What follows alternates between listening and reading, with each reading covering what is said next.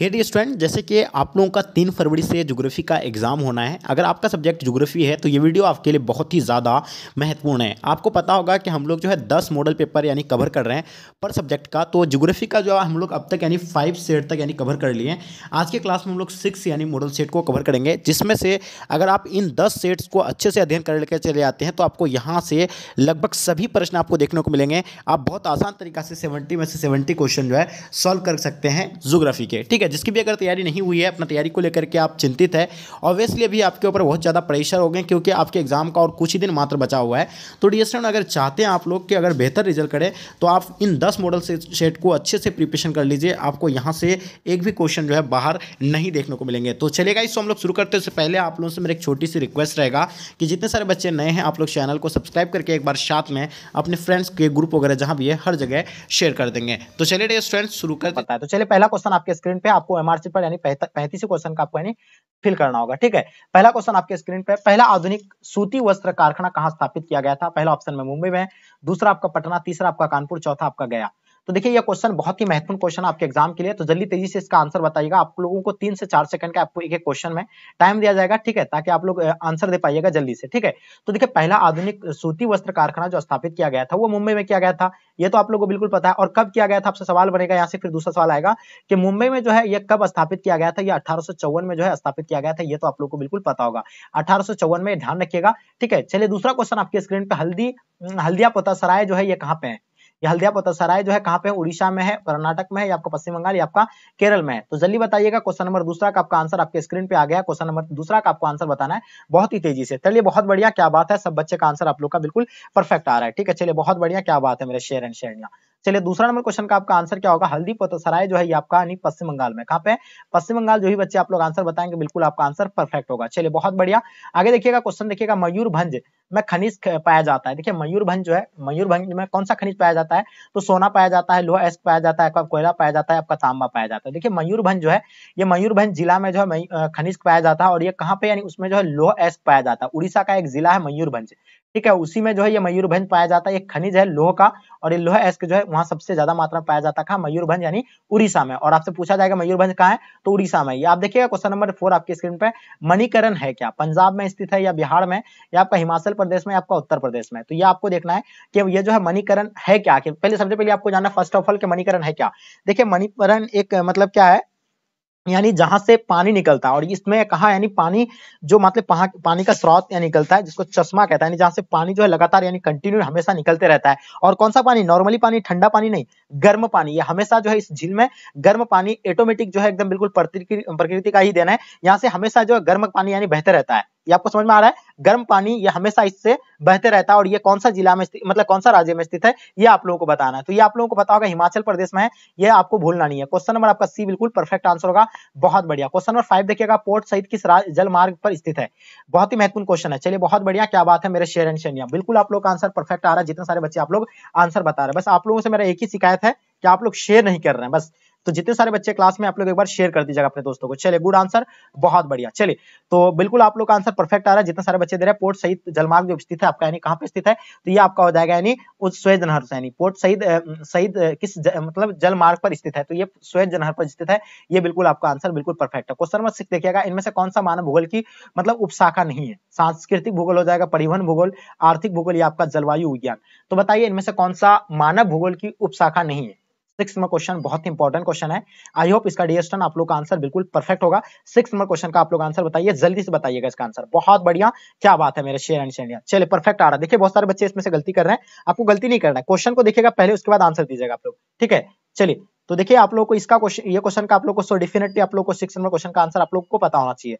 Six का ठीक है? तो चलिए जलवायु आप लोग को पता होगा इसका आंसर आई होप जलवायु होना चाहिए जलवायु विज्ञान होना चाहिए कि इनमें से कौन सा मानव भूगोल की उपशाखा नहीं है तो ये जल, जलवायु विज्ञान ठीक है? तो इसका आंसर क्या हो जाएगा आपका जलवायु विज्ञान बिल्कुल एब्सोल्युटली करेक्ट आंसर हो जाएगा। क्वेश्चन देखिएगा आपके स्क्रीन पे सेवन नंबर क्वेश्चन नरोड़ा नाभिक की ऊर्जा परियोजना कहाँ पर स्थित है? देखिए नरोड़ा नाभिक की ऊर्जा के बारे में बताना ये उत्तर प्रदेश में है बिहार में है आपका केरल या आपका तिरपुरा में है। तो देखिए इसका तो आंसर आप लोग को सो डेफिनेटली पता होगा कि नरोड़ा नाभिक की ऊर्जा जो है परियोजना कहाँ पर है? ये आपका उत्तर प्रदेश में कहाँ पे यानी उत्तर प्रदेश तो इसका आंसर आपका उत्तर प्रदेश बिल्कुल एब्सोल्युटली करेक्ट आंसर होगा। जितने सारे बच्चे आप लोग उत्तर प्रदेश बता रहे हैं, बिल्कुल आपका आंसर परफेक्ट होगा। और एक तारापुर को जो तारापुर नवाकी ऊर्जा है तारापुर ये कहाँ पे है? तारापुर वाला कहाँ पे है? ये आप लोग कमेंट करके ज़रूर बताइएगा। तारापुर वाला, ये लिखा नहीं जाता, लेकिन फिर भी आपको हम लिख देते हैं। तारापुर के बारे में बताना क्वेश्चन नंबर एट नंबर देखिएगा आपके स्क्रीन पे। कोंकण रेलवे पर रोहा स्टेशन किस राज्य पर अवस्थित है? तो बताइए आठ नंबर क्वेश्चन का आप लोगों को आंसर बताना है। सो एब्सोल्युटली आप लोगों का आंसर जो है बिल्कुल परफेक्ट होना चाहिए। आठ नंबर क्वेश्चन का। चलिए, बहुत बढ़िया। क्या बात है, एकदम गर्दा उड़ा देना क्वेश्चन को देखती ही आप लोगों को क्वेश्चन का सुपड़ा साफ़ कर देना। मेरे दोस्त चले बिल्कुल गजब का आंसर आ रहा आप लोगों का, बहुत बढ़िया, बिल्कुल सही एफर्ट आपके अंदर चले बहुत बढ़िया।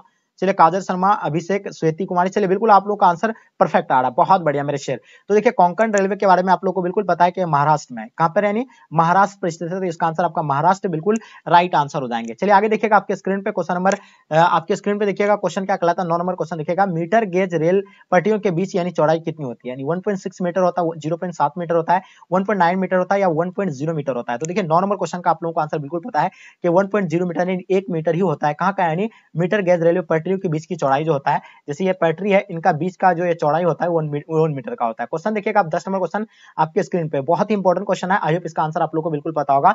भिलाई इस्पात संयंत्र किस राज्य में अवस्थित है? चलिए जल्दी तेज़ी से आंसर बताइएगा। भिलाई इस्पात संयंत्र किस राज्य में अवस्थित है? ये बताइए।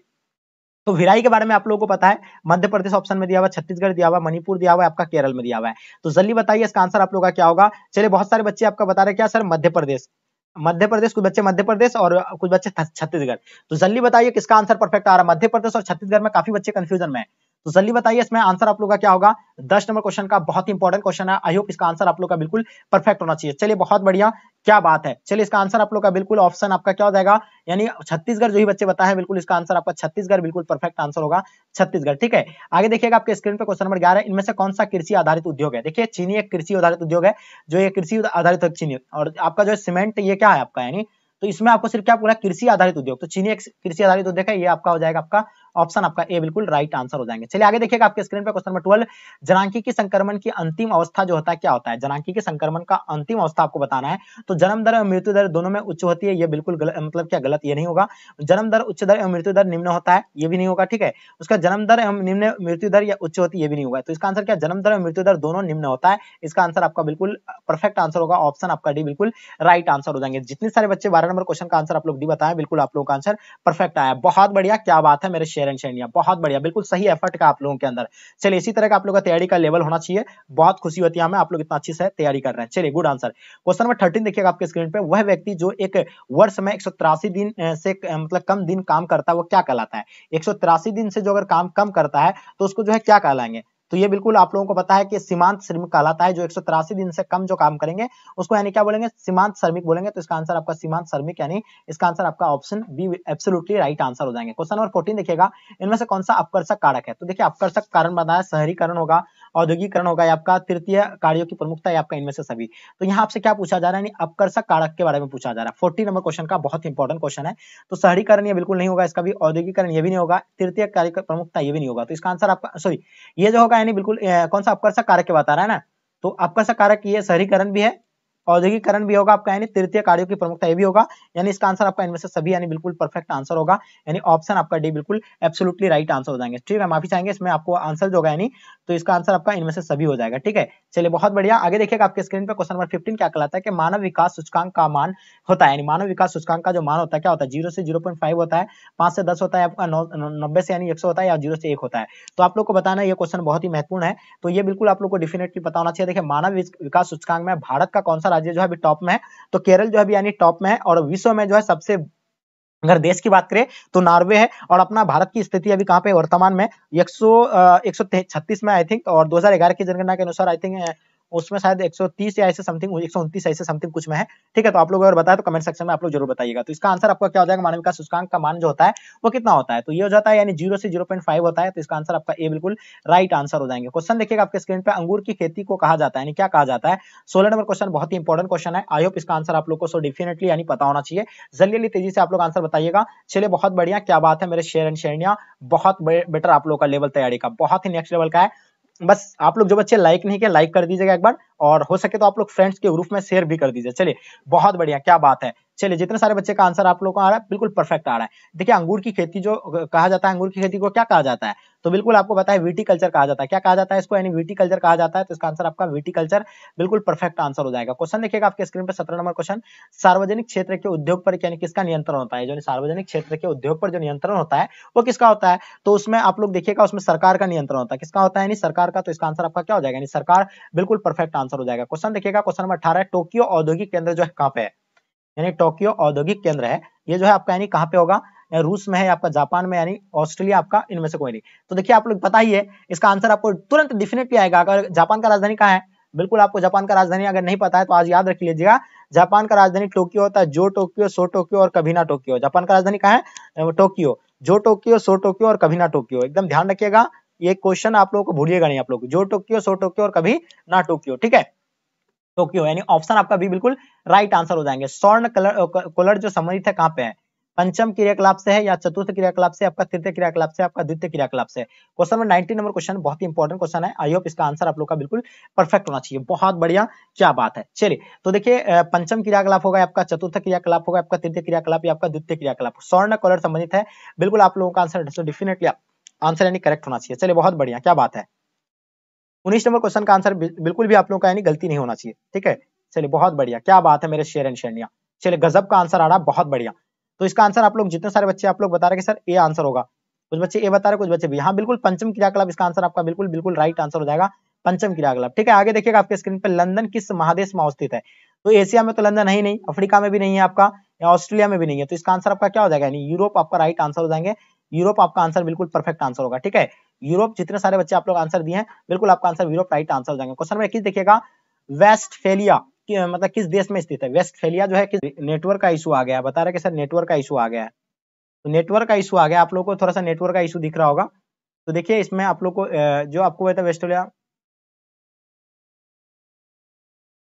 तो लंदन के बारे में आप लोगों को तो बता दिए थे। लंदन आपका कहाँ पे यानी हाँ अभी आप लोग को बिल्कुल क्लियर दिख रहा होगा। थोड़ा सा नेटवर्क का इशू आ गया था। आप लोगों को ही है तो लंदन जो है आपका यूरोप में कहाँ पे यानी यूरोप महादेश में ठीक है, कौन सा महादेश में? यूरोप में। आगे देखिए, दूसरा क्वेश्चन वेस्टफेलिया किस देश में स्थित है? तो इसके बारे में भी आप लोगों को बताया भी कि ये जर्मनी में स्थित है। कहाँ पे यानी जर्मनी में। आगे देखिएगा ओरियंट एक्सप्रेस रेल मार्ग जो आपका, यानी कहाँ पे है, ये यूरोप में है। क्वेश्चन ट्वेंटी थ्री देखिएगा आपके स्क्रीन पे। निम्नलिखित में से कौन सा परिवहन का साधन नहीं है? ये क्वेश्चन बहुत इंपॉर्टेंट है। चलिए, जल्दी से आंसर आप लोग देने का कोशिश कीजिएगा, जितने सारे बच्चे क्लास में। चलिए, अभी क्लियर हो गया आप लोगों को, अभी नेटवर्क का और कोई इशूज नहीं आएगा। कभी कभी होता है। आप लोग सभी बच्चों को पता है। दो सेकंड, तीन सेकंड के लिए होता है। उसके बाद वह जो बिल्कुल फिर क्लियर हो जाता है, ठीक है? तो कौन सा परिवहन का साधन नहीं है? तो पाइपलाइन पहला आपका नहर है, दूसरा आपका उपगढ़ है, तीसरा आपका राजमार्ग। तो देखिए, इसमें से कौन सा परिवहन का साधन नहीं है? तो देखिए, आपको पता है पाइपलाइन एक साधन है, परिवहन का एक साधन है, ठीक है? नहर भी एक क्या है, साधन है, ठीक है? तेईस नंबर क्वेश्चन का बहुत ही इंपॉर्टेंट क्वेश्चन आपको समझना है। और उसके बाद राजमार्ग, ये भी एक साधन है, ठीक है? लेकिन उपगढ़ कोई साधन नहीं है, ये गढ़े है, ठीक है? गढ़े का मतलब क्या होता है? उपगढ़ होता है ना तो ये कोई मतलब परिवहन का साधन होता है? परिवहन किसको कहता है? जो एक स्थान से दूसरे स्थान तक किसी वस्तु को लेके जाया जाता है यानी चाहे कोई भी, कुछ भी चीज़ हो। एक स्थान से दूसरे स्थान तक वो जिसके द्वारा यानी लाया जाता है, उसको हम लोग क्या बोलेंगे? यानी परिवहन बोलेंगे। तो परिवहन ये थोड़ा ना है तो उपग्रह कोई परिवहन थोड़ा ना है। तो इसका आंसर आपका बिल्कुल, ऑप्शन सी बिल्कुल राइट आंसर हो जाएँगे। क्वेश्चन को समझना और उसका आंसर देना। क्वेश्चन नंबर ट्वेंटी देखिएगा। नम बिंदु बस्ती किस क्षेत्र की विशेषता है? तो देखिए, नम बिंदु बस्ती जो है, किस क्षेत्र की विशेषता आपको बताना मरुस्थली क्षेत्र का, मैदानी क्षेत्र का, उसका बर्फीली क्षेत्र या आपका पठारी क्षेत्र का। तो देखिए, ट्वेंटी फोर नंबर क्वेश्चन का आंसर आप लोग को डेफिनेटली पता होगा। तो जल्दी बताइएगा मेरे शेयर तो देखिए, ये जो है, नम बिंदु बस्ती जो होता है, ये बर्फीली क्षेत्र के लिए है। तो बताइए, इसका आंसर आप लोग का बर्फीली क्षेत्र है? बिल्कुल परफेक्ट होना चाहिए सभी बच्चे का। चलिए गुड आंसर बहुत बढ़िया। क्या बात है मेरे शेयर एंड शेयर गजब का आंसर आ रहा है आप लोग का। बिल्कुल परफेक्ट आंसर आ रहा है। जितने सारे बच्चे दिए आप लोग आंसर। चलिए गुड सर, हमको ब्लू टिक कर दीजिए। कोई दिक्कत नहीं, आप रो क्यों रहे आपको ब्लू टिक मिल जाएँगे। क्लास रेगुलर आइएगा, तब ना आपको ब्लू टिक कर दिया जाएगा। ऐसे ब्लू टिक कैसे कर दिया जाएगा, दोस्त? क्लास में रेगुलर जुड़िए, उसके बाद आप लोग को ब्लू टिक कर दिया जाएगा। जो बच्चे रेगुलर नहीं जुड़ते, उसको नहीं किया जाएगा अभी? और हाँ बहुत सारे बच्चे रेगुलर आते हैं, लेकिन उसका किया नहीं गया बहुत जल्दी कर देंगे, ठीक है? आप लोग निश्चित रहिएगा। चलिए तो बहुत बढ़िया, क्या बात है? सभी बच्चे का आंसर बिल्कुल परफेक्ट आ रहा है। ऑप्शन आप लोग का सी आ रहा है। जितने सारे बच्चे आप लोग सी बता रहे हैं, बिल्कुल आप लोग का आंसर परफेक्ट आ रहा है। क्वेश्चन क्वेश्चन नंबर आप देखिएगा ट्वेंटी फाइव नंबर क्वेश्चन किस भाषा परिवार की जनसंख्या सबसे अधिक है? दरवीर का हो गया, भारतीय, यूरोपीय का हो जाएगा, अस्ट्रिक का आपका, इनमें से कोई नहीं। देखिए, ये क्वेश्चन बहुत ही इंपॉर्टेंट क्वेश्चन है। तो देखिए, किस भाषा का परिवार जनसंख्या सबसे अधिक है तो ये आस्ट्रिक का है। कौन सा है? नहीं आस्ट्रिक यानी इसका आंसर आपका क्या हो जाएगा? बिल्कुल ऑप्शन आपका सी बिल्कुल एब्सोल्युटली राइट आंसर हो जाएँगे। आगे देखिएगा आपके स्क्रीन पे क्वेश्चन नंबर 26 क्या कहलाता है कि भाखरा नंगल परियोजना अवस्थित जो है, यानी कहाँ पे है? पहला आपका सतलज नदी पर, दूसरा आपका व्यास नदी पर, आपका गंगा नदी पर, तीसरा आपका नर्मदा नदी पर। तो देखिए भाखरा नंगल परियोजना अवस्थित जो है, ये कहाँ पे अवस्थित है? ये आप लोगों को बताना है, ठीक है? देखिए ये जो है भाखरा नंगल परियोजना अवस्थित जो है, कहाँ पे यानी सतलज नदी पर है, ये कौन सा नदी पर है? सतलज नदी पर, और ये आपका आंसर बिल्कुल सतलज नदी राइट आंसर हो जाएगा। और सतलज नदी जो है, कौन सा राज्य से बहता है, ये आप लोग बताइएगा। क्वेश्चन आपके स्क्रीन पे 27 नंबर क्वेश्चन गोदावरी बेसिन जो है, कहाँ पे है? तो ये तो बहुत ही इजी क्वेश्चन है, गोदावरी बेसिन के बारे में, ये बिल्कुल आप लोग को पता होना चाहिए। चाहे उत्तर भारत में होगा आपका पूर्वी भारत में, आपका दक्षिण भारत में आपका पश्चिम भारत में। तो बताइए, कुछ बच्चे तो इसमें बता रहे कि सर, यानी ऑप्शन बी होगा, यानी पूर्वी भारत में बता रहे कुछ बच्चे यानी पश्चिम भारत में बता रहे हैं। तो बताइए इसमें से आंसर कौन सा होगा? यानी पूर्वी भारत होगा या आपका पश्चिमी भारत होगा? ये दोनों तो छोड़ दीजिए। इन दोनों में से कौन सा आंसर होगा? सताइस नंबर क्वेश्चन का आप लोग को आंसर बताना है। चलिए, बिल्कुल आप लोग का आंसर सो डेफिनेटली करेक्ट होना चाहिए। किसी भी बच्चे का आंसर यानी गलत नहीं होना चाहिए। चलिए, बहुत बढ़िया। क्या बात है? बहुत बढ़िया, क्या बात है? पश्चिम भारत में, पश्चिम भारत बता रहे हैं बहुत सारे बच्चे पश्चिम भारत में। चलिए तो देखिए इसका आंसर आप लोग का क्या हो जाएगा? पश्चिम भारत बिल्कुल राइट आंसर हो जाएँगे। चलिए, जितने सारे बच्चे आप लोग पश्चिम भारत बताएँ, बिल्कुल सही है। इनमें से कौन सा खनन नगर नहीं है? तो खनन नगर के बारे में आप लोग को बताना, इसमें से जो नहीं है। तो देखिए खेतरी एक खनन नगर है, धनबाद भी एक खेतरी मतलब क्या है खनन नगर है जहाँ कोयला के लिए जाना था कोडरमा भी जाना जाता है ठीक है, ये भी एक खनन नगर है, लेकिन पटना एक राजधानी है तो इसका आंसर आपका क्या हो जाएगा, यानी पटना बिल्कुल राइट आंसर हो जाएँगे। अपना बिहार का राजधानी कहाँ है? पटना बिल्कुल राइट आंसर हो जाएँगे। झील के सहारे किस प्रतिरूप का आदिवास पाया जाता है? तो देखिए आप लोगों को बिल्कुल पता है, रेखीय पाया जाता है आपका वृत्ताकार, या आपका चौकपट्टी या इनमें से कोई नहीं। तो ये बताइए, ये जो है किसमें पाया जाता है? तो सभी बच्चों को पता है कि वृत्ताकार जो पाया जाता है किसमें झील के सहारे पाया जाता है तो इसका आंसर आपका बिल्कुल परफेक्ट आंसर हो जाएगा। क्वेश्चन नंबर थर्टी देखिएगा आपके स्क्रीन पे। पहाड़ियों पर कौन सा आदिवासी प्रतिरूप पाया जाता है? जैसे कि आप लोगों को बताए थे, आपको कई बार क्लास में बताया कि पहाड़ी में इस प्रकार के जो है होता है पहाड़। इसमें जो होता है, यानी सीरुनुमा आकार का होता है। इसको पहले काटा जाता है इस तरह करके, यानी कि सीरुनुमा आकार का जो है क्या बनाते हैं? यानी घर बनाते, खेती करते, सब यानी सीरुनुमा आकार का ही बनता है। तो इसका आंसर क्या हो जाएगा आपका? यानी सीरुनुमा बिल्कुल परफेक्ट आंसर हो जाएगा। क्वेश्चन देखिएगा क्वेश्चन नंबर इकतीस नंबर क्वेश्चन भारत में वर्ग वन के शहर या नगर की जनसंख्या होती है, कितना होती है? इकतीस नंबर क्वेश्चन का, एक लाख से अधिक होता है या दस लाख से अधिक होता है या बीस हज़ार से अधिक है, आपका इनमें से कोई नहीं। तो चलिए जल्दी आंसर बताइएगा, इसका आंसर आप लोग का क्या होगा? थर्टी वन नंबर क्वेश्चन का बहुत इंपॉर्टेंट क्वेश्चन है। आई होप इसका आंसर आप लोग को बिल्कुल परफेक्ट पता होगा। चलिए उम्मीद है कि सब बच्चे इसका आंसर आप लोग बिल्कुल परफेक्ट देंगे। बस जो बच्चे लाइक ही नहीं किया, आप लोग फटाफट तेज़ी से लाइक कर लीजिएगा। चलिए गुड आंसर बहुत बढ़िया। चलिए, मेरे शेयर एंड शेयर गजब का आंसर आप लोगों का आ रहा है, बहुत बढ़िया। चलिए तो आंसर क्या होगा? जल्दी बताइएगा। चलिए वेरी गुड तो इसका आंसर आप लोग का क्या होगा? यानी दस लाख से अधिक यानी बिल्कुल राइट आंसर हो जाएँगे। ठीक है आगे देखिएगा आपके स्क्रीन पे। कालका एक प्रसिद्ध परिवहन शहर है। पंजाब में है या आपका यानी हरि, मतलब हरियाणा में है उत्तराखंड में आपका इनमें से कोई नहीं। तो देखिए कालका एक प्रसिद्ध परिवहन शहर है। तो बताइए कालका एक परिवहन शहर कहाँ का है? जल्दी बताइए। आपको समय मिला है? एक मिनट का।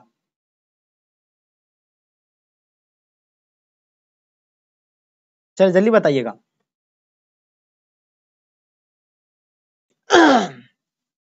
चलिए, हिमालय की हिमालय में बता रहा है। कुछ बच्चे हिमालय बता रहे हैं, कुछ बच्चे बता रहे हैं पंजाब में। कुछ बच्चे बता रहे हैं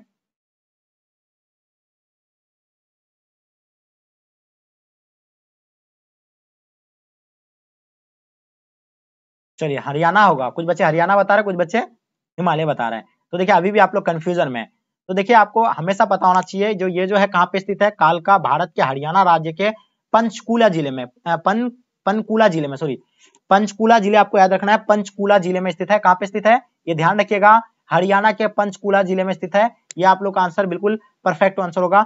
बत्तीस नंबर क्वेश्चन का। चलिए, आगे देखिएगा आपके स्क्रीन पे, इनमें से कौन सा एक प्राचीन नगर है? तो देखिए नालंदा हो गया, चंडीगढ़ हो गया, ब्रौनी हो गया, इनमें से कोई नहीं। तो सब जानते हैं कि अपना नालंदा, जो अपना बिहार का नालंदा सबसे प्राचीन नगर है। ये सबको पता है कि यहाँ जो है बहुत बड़े यानी विश्व से लोग जो है, अदर देश से लोग जो है पढ़ने आते थे। कहा? नालंदा पढ़ने नालंदा के लिए पढ़ने आते थे। यहाँ दस हज़ार टीचर थे। आप सोचिए कि कितना बड़ा मतलब ये था यूनिवर्सिटी था क्या दस हज़ार क्या थे? शिक्षक थे सिर्फ़। और बहुत यानी बड़ा था जो लोग विदेश से पढ़ने के लिए आते थे नालंदा विश्वविद्यालय में, जो अपना कहाँ पे यानी बिहार में ठीक है? नालंदा जिला से आप लोग कितने सारे स्टूडेंट है? नालंदा से बहुत सारे स्टूडेंट होगा, उसको पता होगा। चलिए आगे देखिएगा आपके स्क्रीन पे इनमें से कौन सा शुष्क कृषि से संबंधित है। तो देखिए आपका जवार और बाजरा जो है, ये किससे, यानी कृषि शुष्क कृषि संबंधित होता है। तो इसका आंसर आपका क्या हो जाएगा? यानी बिल्कुल परफेक्ट आंसर होगा। क्वेश्चन देखिएगा, ऑपरेशन फ्लड संबंधित किससे है?